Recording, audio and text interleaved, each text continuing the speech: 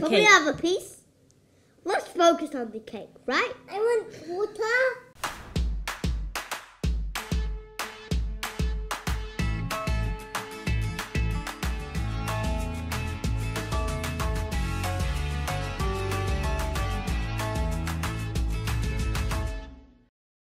Welcome back to My Cupcake Addiction. I'm Elise Strachan and today we're going to be making this amazing Moana inspired tropical luau cake.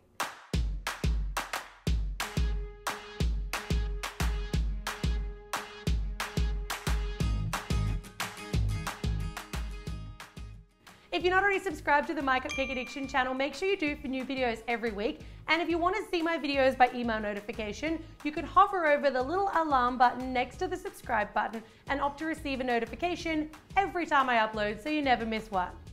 This Moana cake is over the top, it's lots of fun, and above all, it's versatile, guys. Make this a Moana cake, make it a tropical cake, make it a tiki cake, make it your own. The things you're gonna need to make your Moana cake I've gone with one of my own recipes, the mud cake from the Sweet Celebrations cookbook, but you can use your favorite. All up, you're gonna need four 8 inch by 1 inch high layers of cake and then another four 6 inch by 1 inch high layers of cake. That's about four batches of the mud cake recipe. I've got a couple of cake boards. You'll need a 10 inch and a 5 inch, and I've got an optional super large board I'll be using at the end. Some crushed white cookies, straws, make sure they're plastic, buttercream, and I've colored mine a sandy color and then a light blue and a dark blue. You'll need toothpicks, a little brown powder food color or a little brown dusting powder. Flowers, decide if you want to use edible flowers here, fresh or sugar. I've gone with gum paste flowers. Some ganache and green fondant. I've also made you guys two templates. You've got your Moana and Maui template and also your kind of tattoo looking template that's gonna go around the top layer of cake. I'll link to those down below and I'll leave everything you need on the mycupcakeaddiction.com website as well as in the description box below. Let's get into it. I'm feeling tropical. La la la la la. La la la la la la. la, la. Oh, sorry, we were doing ingredients. First up, you want to take your six inch cakes and just trim the very base of them off. And then I'm going to use a cake leveler to give myself four nice one inch even layers of cake. You want to do the same with your 8 inch cakes, although I'm going to make mine slightly bigger than an inch, about an inch and a quarter. Again, trimming off the bottoms and leveling out the tops. Starting with my 8 inch cake, I'm going to stack that on my base board with a little ganache to secure it to the board, and then I'm going to lay a cake and then a nice thin layer of ganache, cake, ganache, cake, and ganache. Give that one a nice coating, don't worry if it's not too neat here, of ganache and pop it off into the fridge. Repeat that process with your six inch cake. There's really no need to stick this one to the baseboard, just cake, ganache, cake, ganache, cake, and then cover the whole thing in ganache, off into the fridge to set. Your base layer should be pretty well set now, so I'm gonna give it another nice coating of that chocolate ganache, and then I'm gonna roll out my green fondant. Sprinkle down a little bit of powdered sugar or cornstarch or corn flour, just to keep your fondant from sticking to the bench. Don't go too crazy thin here. I'm gonna do this in about three sections and I'm gonna measure my cake and I want my fondant to be just a little bit longer than the side of my bottom eight inch cake. So it's about eight inches long in total. I'm gonna slide that onto a piece of parchment paper, which is just gonna help me to move it and use a pizza cutter to kind of cut strips, like the tassels in a hula skirt. And then I'm gonna use the parchment to pick it up and adhere first the very top section of the fondant to around the top inch of the top of my eight inch cake.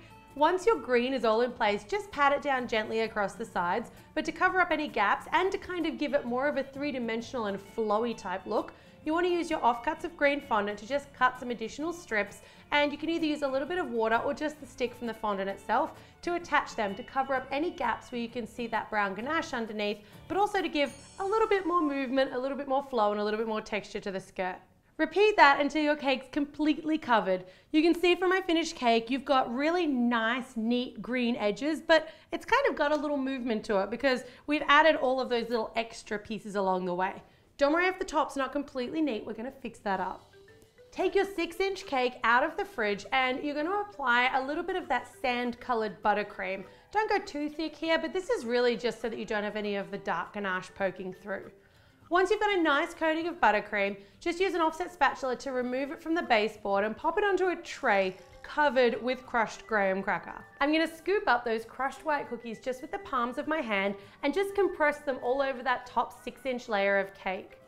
To make this really nice and smooth and to compact my white cookies, I'm gonna take a little bit of parchment, press it up against the sides and on the tops of the cake and just really smooth it out.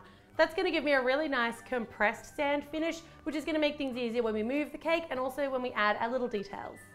It's looking very, very beach-like. Pop that one off into the fridge so that that buttercream layer can set because then it's gonna make it really easy for us to move this top layer and stick it onto our bottom layer. Before we go attaching our two layers together, we also need to support the underside so our top six inch doesn't crush the bottom layers of our eight inch. I'm gonna do that using a board, but first of all, I'm gonna neaten up the top of that cake with a little bit more of my green fondant.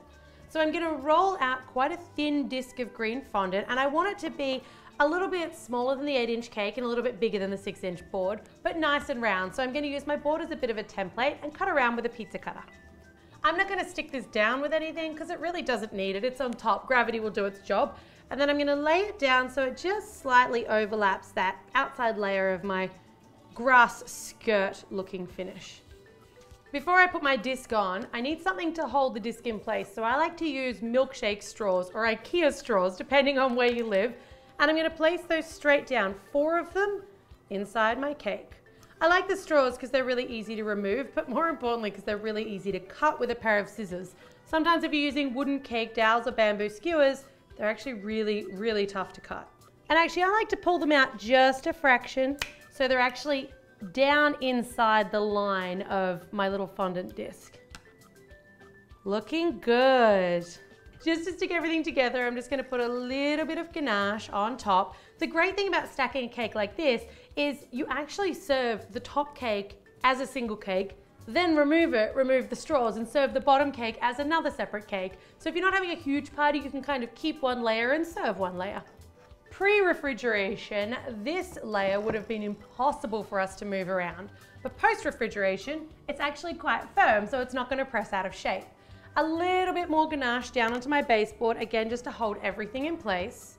And then I'm gonna lift my entire six inch cake layer off that tray and place it on top.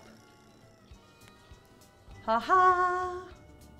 This looks adorable. Now, because I don't want to see any of the joining here where you can kind of see the board in between, I'm gonna roll a thin sausage or a long tube of my green fondant and just wrap that around in between the two layers to disguise any joints. For this bit, you wanna take the template, I'll leave a link to it down below, and I've just cut out the center of it so it makes almost like a stencil. Just use an X-Acto or a Stanley knife to do that. I'm using a little bit of brown powdered food coloring, which you can get from specialty cake stores. I also thought you could probably use one of those food coloring sprays in like a gold or a brown maybe, but I'm just gonna dab it onto my little stencil. And because my buttercream's nice and firm and those graham crackers have been pushed on nice and firmly. They're not being removed. We're just getting like kind of the faint outline, almost like a tattoo pattern. Something like this. Very cool. And just like that, we've created our very own stencil. I love this effect, and I think it looks just like Dwayne The Rock Johnson's tattoos, kind of like his tattoos in the movie. Now this next part's up to you, but I always feel like when you can extend the size of your cake by utilizing the cake boards or the cake serving trays, it just makes it look bigger and all that much more impressive. So I'm gonna use a secondary cake board to create some ocean, because most of Moana takes place on or around the ocean. I've got two different shades of blue buttercream and I'm kind of gonna swirl the two of them together. But first I'll put down a smear, what's the technical term? and we'll put our cake on. That's gonna hold everything together. And a lot of the time, I'll actually reuse these cake boards. So once I'm done with it, I'll wash it off and then I'll use it for another cake. Nothing is wasted. You can hand spread this if you want, but I'm gonna place two different colors into a single piping bag with no piping tip. So my dark blue, just roughly in one side, make a little opening, and then my light blue goes in on the other. It's gonna give us a two-tone effect without any fancy two-tone piping tips snip off a generous tip. And we've made our own piping tip. I'm gonna pipe that on in nice big round swells. And I kind of want it to look like the water's lapping at our base cake, but having those two cake boards also makes it look a little bit like it's kind of raised up a little bit. The tide is coming in. And I'm literally just swirling this because I want it to look a bit like waves. I sometimes like to add either ribbon or this is just like a stick-on washi tape just to kind of finish off the edges of my board. And now it's time to top.